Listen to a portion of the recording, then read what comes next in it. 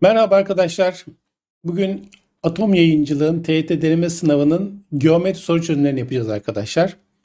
Ee, bugün farklı bir çözüm olacak. PDF üzerinden yapıyoruz arkadaşlar. Gördüğünüz gibi bakın. Kitapçımız A kitapçı Atom Yayıncılığın arkadaşlar. Ee, deneme sınavı bu. Şimdi soru çözümlerine başlayalım.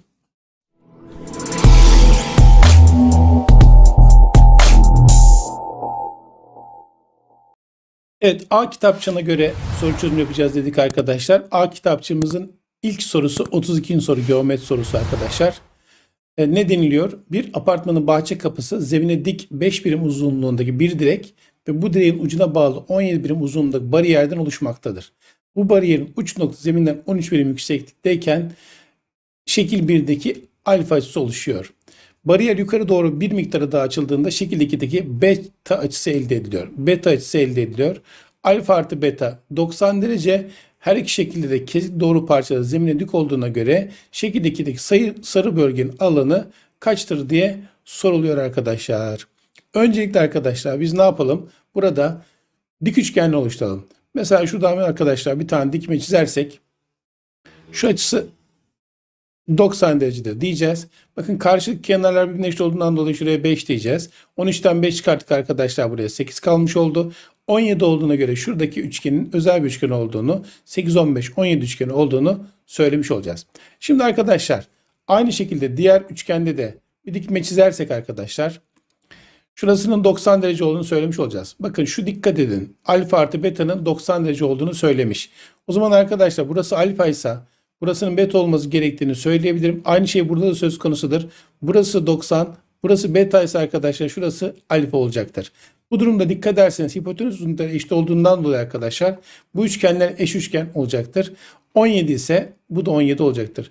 Geçen haftaki bilgisayar mal sınavında da arkadaşlar buna benzer bir soru vardı.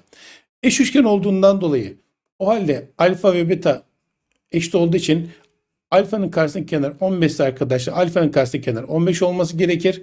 Beta'nın karşısındaki kenar 8 ise beta'nın karşısındaki kenar 8 olması gerekir. Zaten yerden yüksekliği arkadaşlar bu bariyerin 5'te. O zaman burası 5 ise burası da 5 olması gerekir. Benden bu yamuğun alanı soruluyor arkadaşlar. Dikkat edersiniz bakın yamuğun yüksekliği 8 olmuş oldu. Alt tabanı buranın tamamı arkadaşlar 20 oldu. Üst tabanı da 5 oldu. O halde biz geliyoruz yamuğun alanını buluyoruz. Diyoruz ki alanı alt taban artı üst taban. Yani 20 ile 5'in topluyorum arkadaşlar. Çarpı yükseklik 8 bölü 2 diyorum. Bize yamuğun alanı vermiş oluyor. 8'de 2'yi sadeleştirelim arkadaşlar. Burası 4 olsun. 25 çarpı 4 de kaç yapsın? 100 yapsın. Dolayısıyla arkadaşlar cevabımız 100 çıkar arkadaşlar. Evet bu soruyu geçiyoruz. Geliyoruz 30. soruya. Arkadaşlar burada da üçgen biçimde bir bahçeye şekildeki gibi domates, salatalık, bir patates ve kabak ekilmiştir deniliyor. Alanlar verilmiş bakın. BDK'nın alanı arkadaşlar 3 olarak verilmiş. DKFA'nın alanı da arkadaşlar 12 olarak verilmiş. Gördüğünüz gibi. BEK'nın alanı arkadaşlar 4 olarak verilmiş. Deniliyor ki salatalık ekilen alan kaçtır diye soruluyor.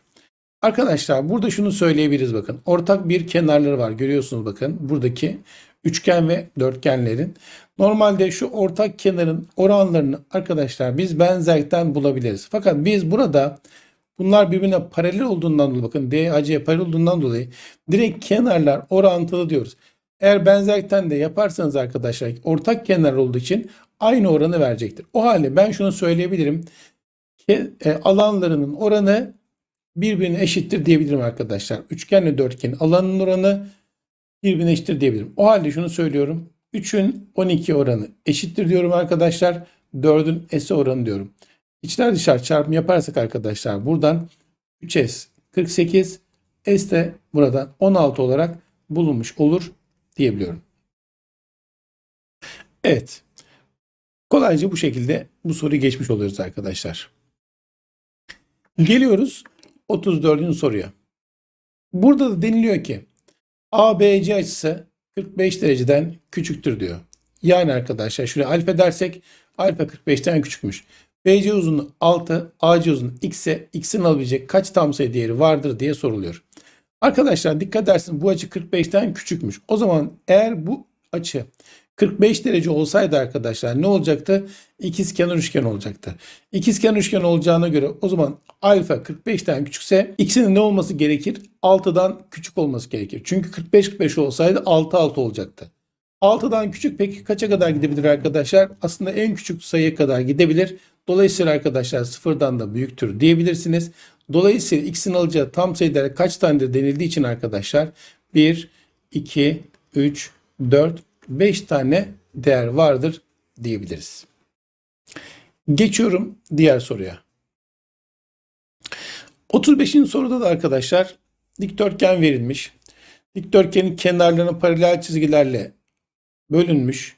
Dikdörtgen için sayılar. Bunda da dikdörtgenin alanlarını verdiğine göre diyor arkadaşlar. BC uzunluğu bakın. Şuraya ben K dersem BC uzunluğu arkadaşlar ne oluyormuş? 2K oluyormuş. AB uzunluğu arkadaşlar EF'nin iki katıymış. O zaman ben buraya T dersem arkadaşlar şurasında 2T olduğunu söyleyebilirim. Şimdi burada alanlar verildiğine göre diyor ki buradaki alan kaçtır diye soruluyor. Arkadaşlar bizim burada alanları bulabilmek için şuradaki dikdörtgenleri kullanmamız lazım. Bir bakın EFLK dikdörtgeni var. Bir de MNGH dikdörtgeni var. Ortadaki alanı arkadaşlar A desek, şuradaki alanı da arkadaşlar B desek, bizden istenen şu B alanı bulmak için buradaki dikdörtgenlerin alanlarını bulalım. Bakın birinci dikdörtgen olarak arkadaşlar şuranın alanı düşüneceğim. Bakın şu dikdörtgenin tamamını düşüneceğim arkadaşlar. Evet buradaki dikdörtgen alanı bulurken ne yaparız? Dik kenarla çarparız arkadaşlar. Bakın birisi K'dır, diğeri 2T'dir. O zaman arkadaşlar bakın 20 artı A artı B'nin ne olduğunu söyleyeceğiz arkadaşlar. K çarpı 2T olduğunu söyleyeceğiz. Çünkü bir kenar K, diğer kenar 2T arkadaşlar. Şimdi gelelim diğer alanı bulmak için arkadaşlar. İkinci durumda da arkadaşlar hangi alanı bulacağız? Bakın şuradaki bir dikdörtgen var. Görüyorsunuz arkadaşlar. Buradaki dikdörtgenin alanı bulacağız. Bu dikdörtgenin kenarları bu sefer nasıl arkadaşlar? Birisi T, diğeri 2K. Ve toplam alanda arkadaşlar nedir bakın? 40 var. 30 var. Ortada bir de A var. Yani 70 artı A da arkadaşlar buradan ne çıkacak? Yine T çarpı 2K olacak. Bakın görüyorsunuz bir kenarı T, diğer kenarı da arkadaşlar 2K. O halde bakın ikisinin alanlarının da arkadaşlar ne olduğunu gördünüz. Eşit olduğunu gördünüz. O zaman buradan ne diyorum? Bu iki alanları birbirine eşitliyorum. Yani 20 artı A artı B eşit olacak arkadaşlar. 70 artı A'ya. A'lar birbirini götürecek. 20'yi karşıya atacağım arkadaşlar. B dolayısıyla 70'ten çıkartsam 20'yi ne çıkacak? 50 çıkmış olacak. Evet. Geçiyoruz bir diğer sorumuz arkadaşlar. 36. soruda da bir düzgün altıgen verilmiş. Bir kenarı arkadaşlar neymiş? 3'müş. Bu düzgün altıgen bakın kesitli çizgilerden kesilerek 4 parça ayrılıp yandaki gibi birleştirmiş. Buna göre şekil 2'nin çevresi kaçtır diye soruluyor. Arkadaşlar bir düzgün altıgenin bir iç açısı 120 derecedir. Kenarlarda birbirine eşit olduğundan dolayı 30-30-120 üçgenler oluşacaktır. Dolayısıyla bakın şu kesikli çizgilerin uzunluklarının 3 kök 3 olduğunu söyleyeceğiz. Yani arkadaşlar şu uzunluk yan tarafta gördüğünüz gibi 3 kök 3 olmuş olacak. Bu kenarlarda arkadaşlar nedir? 3'tür. Şimdi bakın dikkat edin. Bize çevre sorulduğundan dolayı arkadaşlar bir de şurayı bulmam lazım. Bu da içerideki eşkenar üçgen görüyorsunuz arkadaşlar. Bir kenar 3 kök 3 olduğu için şu parçaya 3 kök 3 eksi 3 kalacaktır. E şu uzunluğun da arkadaşlar yine 3 olduğunu bildiğimden dolayı o zaman bakın şu uzunluğun kaç olduğunu söyleyebiliyorum. 3 kök 3 eksi 3 ile 3'ü toplarsam arkadaşlar ne olmuş oluyor? 3 kök 3 olmuş oluyor. Şimdi gelelim buradaki çevreyi bulmaya. Arkadaşlar dikkat edin bakın birisi burada, öbürü burada. Bütün kenarla şu iki kenar toplam arkadaşlar ne olmuş oldu bakın. 3 kök 3 artı 3 kök 3 6 kök 3 yaptı. Şimdi aynı işlemleri diğer kenarlarda yaparsak arkadaşlar bakın şu iki uzunluğun toplamı yine ne olacaktır arkadaşlar? Eşit olacaktır. Aynı şekilde bakın bu iki uzunluğun toplamı da arkadaşlar yine ne olacaktır?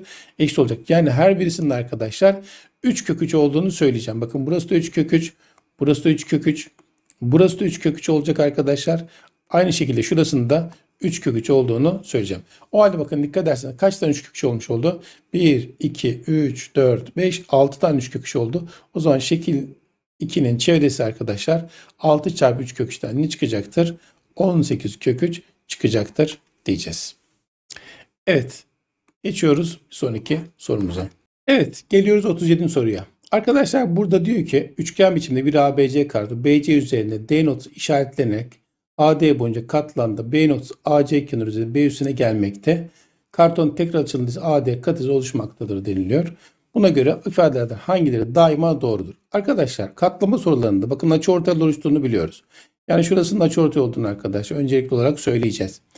E, bu buraya katlandığında acaba B üssü D ile B üssü D bakın burada AC dik olur mu? Arkadaşlar bu her zaman doğru olmayabilir. Çünkü B açısı 90 derece olmadığı müddetçe arkadaşlar buradaki B üssü açısı da buna eşit olduğundan dolayı arkadaşlar diktir diyemeyiz. 90 derece ola, olduğu kesin olmadığından dolayı arkadaşlar daima doğrudur diyemiyoruz maalesef.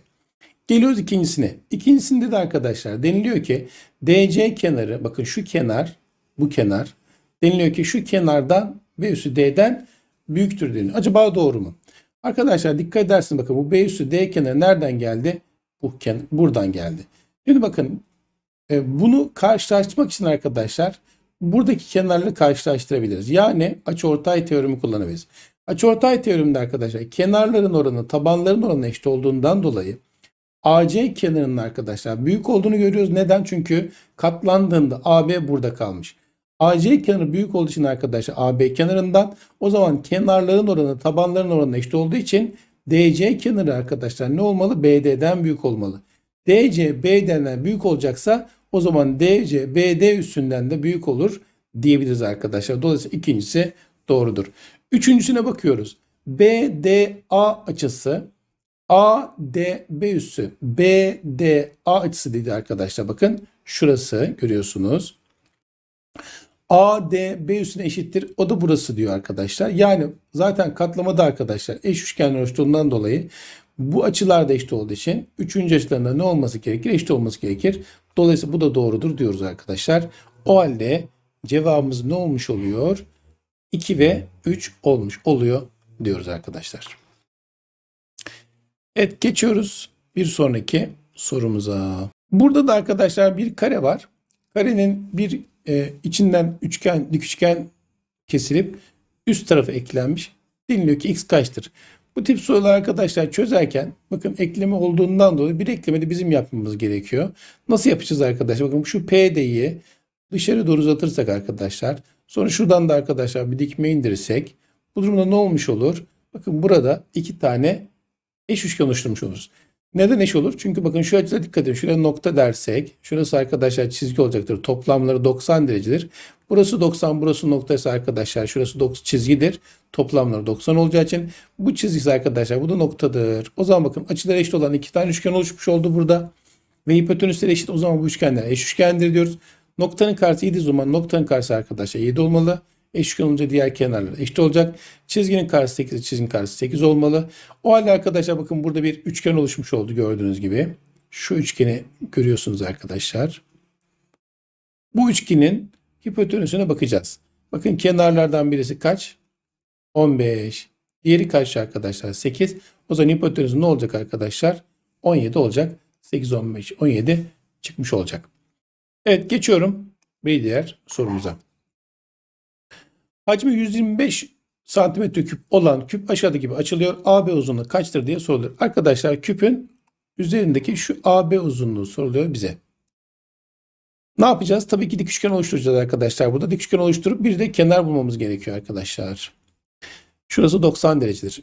Hacim bir küpün hacmi A küpten bulunur arkadaşlar. A küp nedir? 125'miş. O zaman arkadaşlar A'nın buradan kaç çıktığını söyleyeceksiniz. 5 çıktığını söyleyeceksiniz. O zaman bakın burası ne olmuş oldu? Şu dik kenar 10 olmuş oldu. Peki burası ne oldu arkadaşlar? 15 oldu. O zaman ne yapacağız? AB uzunu bulacağız. E, büyük rakamlar var. Pisagor bağıntısı yapmanın arkadaşlar bir pratik yolundan bahsedelim size. Arkadaşlar şunu söylüyoruz bakın. Diyoruz ki eğer büyük rakamlar varsa bunları sadeleştirdik işlem yapıyoruz. Mesela bakın bunu 5 ile sadeleştiriyorum arkadaşlar. Ne oldu? 2 oldu. Bunu 5 ile sadeleştirdim. Ne oldu arkadaşlar? 3 oldu. 5'i buraya yazdım. Sonra kök içerisinde arkadaşlar Pisagor yapıyorum. 2'nin karesi diyorum. Artı bir de 3'ün karesi diyorum arkadaşlar. Pisagor'u böylece kolayca yapmış olurum. Burası ne yapmış oluyor? 3'ün karesi 9, 4 de arkadaşlar 13 oldu. O zaman cevabımız 5 kök 13 çıkmış oluyor diyoruz. Bütün e, büyük rakamlarda bu yöntem arkadaşlar ne yapabilirsiniz?